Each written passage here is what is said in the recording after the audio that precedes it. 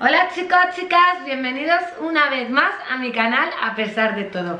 Bueno, sois muchos los que no paréis de preguntarme cómo fue mi primera vez con Christopher, nuestro primer beso, nuestra primera relación sexual Cómo nos conocimos, porque él ha contado su versión. Pero claro, yo también tengo que contar cómo yo me sentí el primer día que le vi